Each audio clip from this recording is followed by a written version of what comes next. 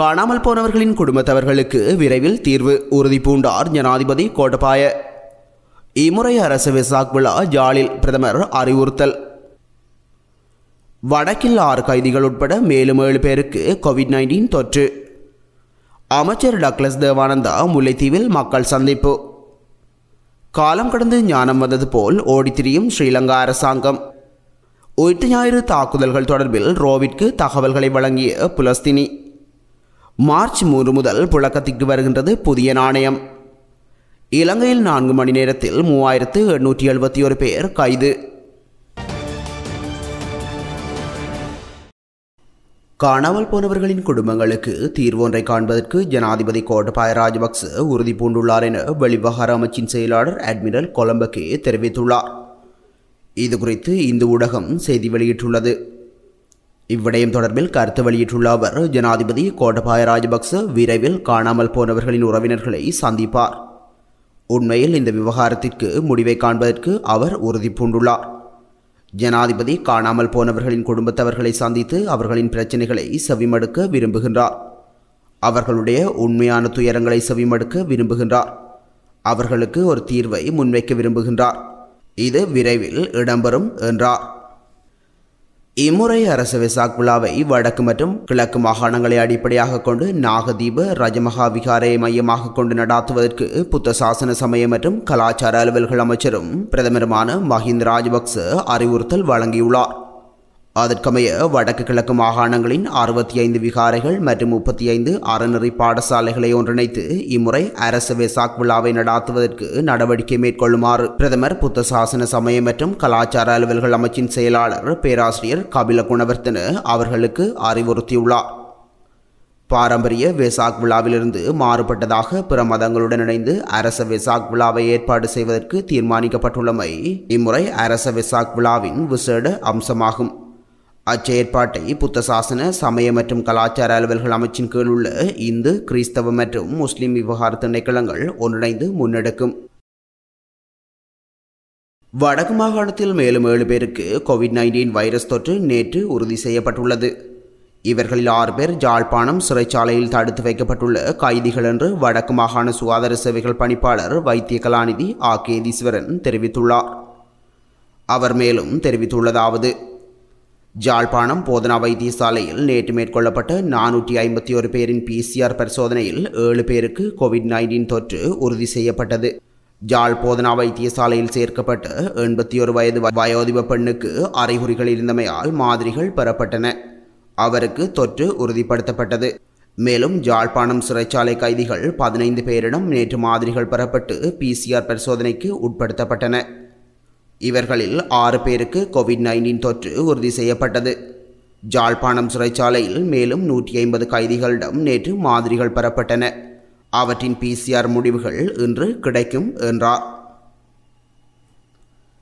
முல்லைத்தீவு மாவட்டத்தில் பொதுமக்கள் மத்தியிலும் மீனவர் மத்தியிலும் நிலவி வந்த பிரச்சினைகள் தொடர்பாக நேரடி கலந்துரையாடலை மேற்கொள்வதற்காக அமைச்சர் தலைமையிலான குழுவினர்கள் மூன்று நாள் மக்கள் சந்திப்பு முல்லைத்தீவில் இடம்பெற உள்ளது அந்த வகையில் இருபத்தி ஆறு ரெண்டு ரெண்டாயிரத்தி இருபத்தி ஒன்று அன்று முல்லைத்தீவு செல்வபுரம் பகுதியில் மீனவர்களையும் மீனவ சங்கங்களையும் பொதுமக்களின் பிரச்சினைகள் தொடர்பில் கலந்துரையாடப்பட்டு கேட்டறிந்து கொண்டுள்ளனர். இதன் பின்னர் ஊடகங்களுக்கு கருத்து தெரிவிக்கையில் மீனவர்கள் பிரச்சினை தொடர்பில் எடுத்து கூறியுள்ளார்கள். முல்லைத்தீவு வாழ் வாழ்வாதாரத்தினை ஒன்றரை முதல் இரண்டு ஆண்டுகளுக்கு பாதுகாத்து பலப்படுத்தி உறுதிப்படுத்துவோம் என்றும் வடக்கு கிழக்கில் நீர் வேளாண்மையினை வேகமாக செய்வதற்கு உத்தேசித்துள்ளேன். கடற்தொழிலாளர்கள் வாழ்வாதாரத்தினை பலப்படுத்தவும் உத்தேசித்துள்ளேன். இந்திய மீனவர்களின் அத்துமீறல் நிறுத்தப்படும். இந்திய மீனவர்களின் நிலைப்பாடு பேச்சு தொடர்பில் தெரிவித்துள்ளார். மீனவர்களின் பிரச்சினை தீர்த்து தராவிட்டால் போராட்டம் நடத்துவோம். அமைச்சரின் வடமாகாண நடவடிக்கையினை முடக்குவோம் என்று சொல்லியுள்ளார்கள். நான் பொறுமை பொறுமை என்று சொல்லி வருகின்றேன். இருந்தாலும் மீனவர்களின் கோரிக்கை நியாயமானது.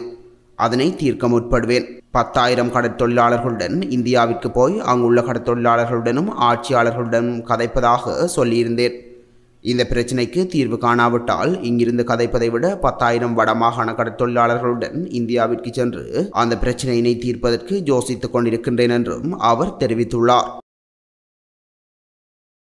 தமிழ் தேசிய பரப்பில் இருக்கக்கூடிய அனைத்து கட்சிகளும் ஒன்றாக செயற்பட வேண்டும் என்ற தன்மையை வலியுறுத்துவதாக பாராளுமன்ற உறுப்பினர் எம் ஏ சுமந்திரன் தெரிவித்துள்ளார்.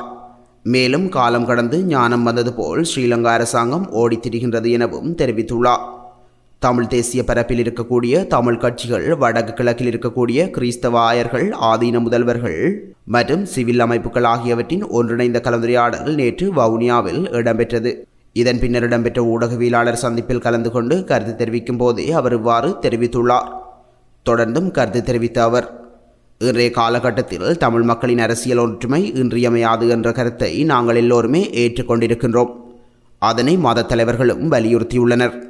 இந்த அரசியல் ஒற்றுமையை எவ்வாறு வேகமாகவும் தீவிரமாகவும் நகர்த்துவது என்பது பற்றி ஒவ்வொரு கட்சிகளும் தமது தீர்மானம் எடுக்கும் கூட்டங்களில் பேசி தீர்மானங்களை எடுத்த பின்னர் வெகு விரைவில் ஒரு கட்டமைப்பாக முன்னேறுவது குறித்த நடவடிக்கையை எடுப்போம். இக்கலந்துரையாடலில் எந்தவித முரண்பாடு இல்லாத நிலையிலும் அழைப்பு விடுக்கப்பட்ட அனைத்து கட்சிகளும் கலந்து கொள்ளவில்லை.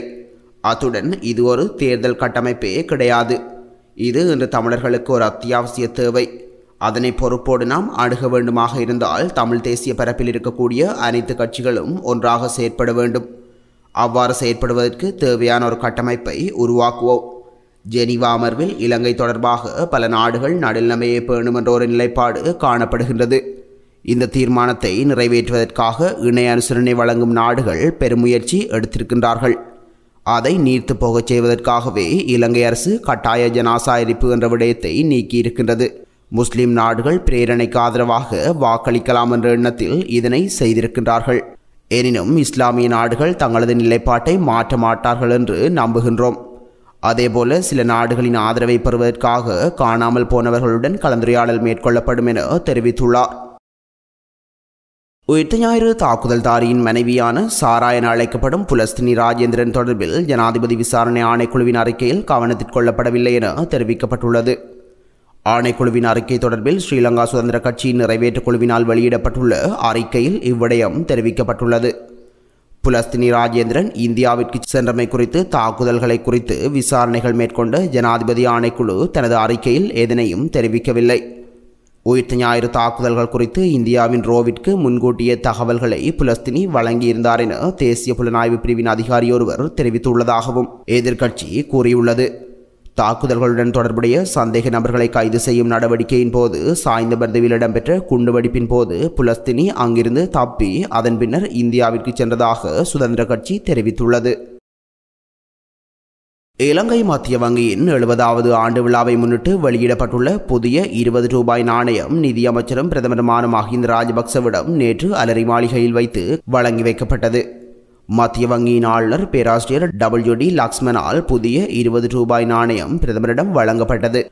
இப்புதிய இருபது ரூபாய் நாணயம் ஏனைய பணத்தாள்கள் மற்றும் நாணயத்தாள்களுடன் கொடுப்பனவிற்காக இரண்டாயிரத்தி இருபத்தி ஒன்று மார்ச் மூன்றாம் தேதி புழக்கத்திற்கு வரும் என அறிவிக்கப்பட்டுள்ளது. நாடளாவிய ரீதியில் நான்கு மணி நேரம் முன்னெடுக்கப்பட்ட சிறப்பு சுற்றி வளைப்பில் மூவாயிரத்து எண்ணூற்றி எழுபத்தி ஒரு பேர் கைது செய்யப்பட்டுள்ளனர். கடந்த இருபத்தி ஐந்தாம் திகதி மாலை ஆறு மணி முதல் இரவு பத்து மணி வரை குறித்த சுற்றி வளைப்பு முன்னெடுக்கப்பட்டுள்ளது.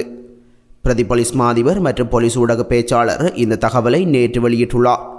இவ்வாறு கைது செய்யப்பட்டவர்களில் அறுநூற்றி ஏழு பேர் குடிபோதையில் வாகனம் ஓட்டியவர்கள் உரிமமில்லாமல் வாகனம் ஓட்டிய நூற்றி நாற்பத்தி ஆறு பேர் உள்ளடங்குவதாகவும் குறிப்பிட்டுள்ளார்.